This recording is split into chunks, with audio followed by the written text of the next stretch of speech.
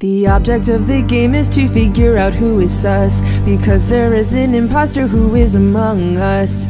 Even when you play with friends there's no one you can trust Because there is an imposter among us I went to electrical to go complete a task.